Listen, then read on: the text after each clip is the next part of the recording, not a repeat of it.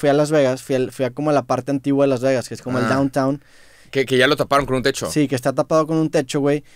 Y se me hizo bien cabrón porque la neta lo que antes parecía futurista, ahorita me daba miedo. O sea, hasta el chile está bien tenebroso ese pedo, güey.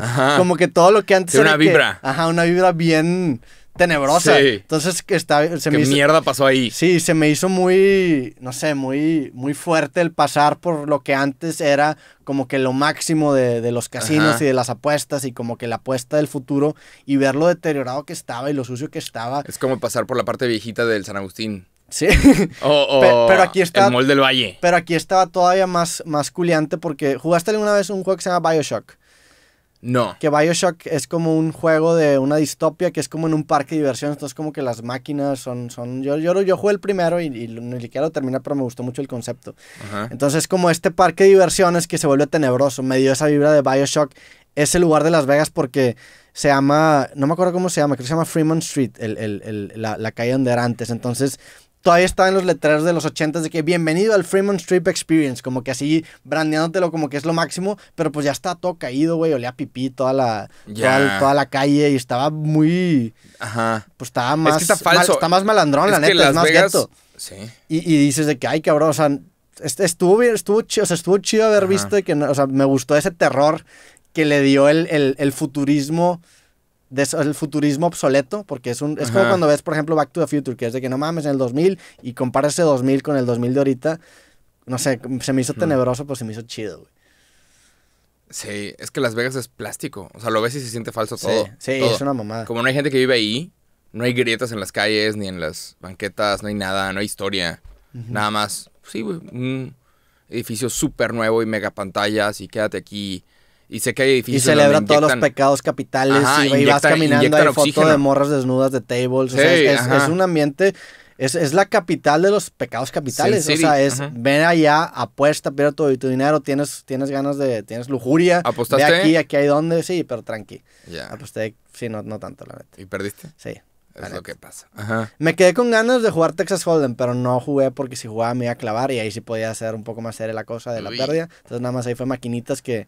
Dejas de un pues, centavo sí. nomás para. Que digo, es lo mismo jugar maquinitas a quemar un billete, ¿verdad? O sea, Eh, sí, ajá. Pero pues cuando menos te entretienes más con las lucecitas y te traen drinks, ahí me estás- La clave es que te traigan drinks. Te lo regalan. Ajá. Ajá. Pues sí, quieren que te pongas hasta el pito, güey, para que, para que pierdas ahí el, el- el conocimiento. Pero estuvo chido, güey. La marihuana también ahí es legal en, en- en Las Vegas. Ya es completamente legal en un chingo de lugares en Estados Sí. Unidos, ¿no? A ver cuándo para México, ¿no? Sí, ya debería A pasar. ver qué pasa. Pero bueno, ¿qué más, güey? Ah, pues, o sea, No noté nada, güey, sobre, sobre esa cosa. Sí, lo No que iba a hacer no nada. lo hice y sí, sí se me van a ocurrir sobre, cosas. sobre esa cosa de las apuestas, la casa siempre gana. Sí, y por eso existen. Y Las Vegas es el clarísimo ejemplo. Ahora vi un estudio de que el único lugar en donde los casinos eran algo bueno para la sociedad, para la comunidad, era Las Vegas. Es el único lugar en el mundo en donde los casinos hacen que florezca el lugar. Entonces, un lugar como Nevada, que es un desierto, que no hay nada, los casinos le dieron trabajo a toda esa comunidad y empezó a crecer la zona. Sí, Y sí, pero es a costa de que le lleve la verga a otras personas. claro, O sea, entiendo porque la derrama económica Sí, no, que le da tú a la vas, ciudad es tú muy vas, grande. puedes apostar mil, dos mil dólares o lo que quieras, Sí. cien dólares y te, y, te, y te sales de ahí. No, te vuel- no te vuelves, sabes, de que pobre ahí, no te quedas ahí.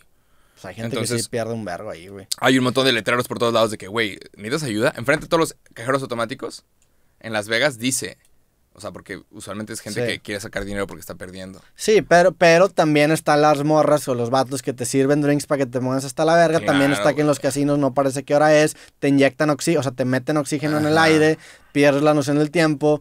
Este, este- está toda la, la neta, no hay nada de fricción para empezar a apostar. Si tienes lana, Ujú. meto en la La maquinita y casa, la casa siempre gana. Qué Sí. peligroso. Y ahorita pues hay apuestas en línea. Por eso, por eso es una mamada que sean legales los casinos. O sea, para mí se me hace una mamada, especialmente las maquinitas, porque apostar no, apostar es diferente, pero las maquinitas que son, son computadoras programadas para hacerte adicto y programadas para acabar ganando a largo plazo por ley.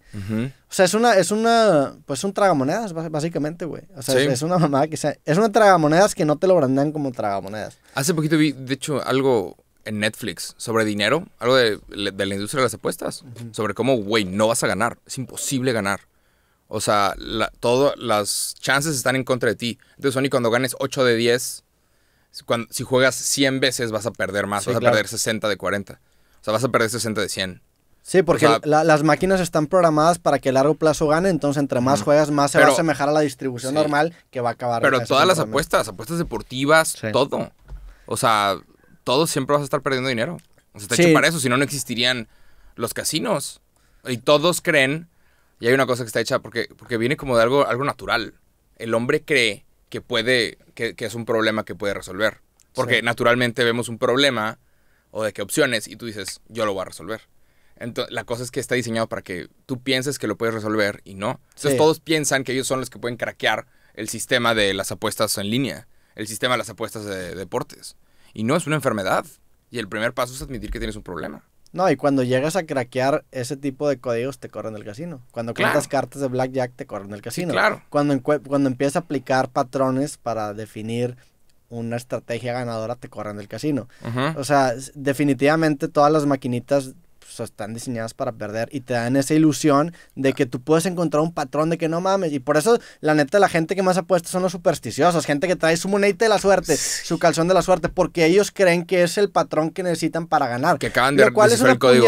mental, güey. Sí. Por eso, digo, las maquinitas... peligroso. La, la neta, yo jamás recomendaría que alguien apueste en una maquinita. Creo que apuestas deportivas es, es diferente. Yo, yo, la neta, no apuesto nunca nada en No, deportivo. tampoco, el póker sí me gusta porque el póker sí tiene como que ese balancite meritocrático. Y si hay, si hay análisis, o sea, lo- los jugadores de póker a largo plazo acaban ganando. O sea, hay, hay, pero el, el pedo es que son muy pocos y ganan a Sí, costa claro. de, de que a muchos les lleve la chingada. es como querer ser futbolista. y Ajá. como quiera, la casa siempre gana, porque los torneos son en los casinos, que los casinos ganan independientemente de quién gane, güey.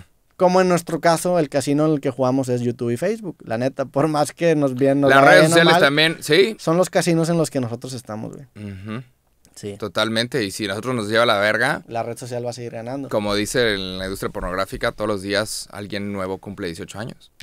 O sea, Sí. la net. Entonces ah, nos lleva la verga a nosotros. Hay un nuevo huerquito que empieza a salir de, chicos, hola, ¿cómo están? Sale Y- un Roberto mamado, un Jacobo mamado. Ajá, y- y, y se va reciclando. Y los mismos que hacen cre- contenido se empiezan a quemar, de que burnout, de que ya no pueden más. Hay un nuevo huerco dispuesto a aventarse 24-7 contenido.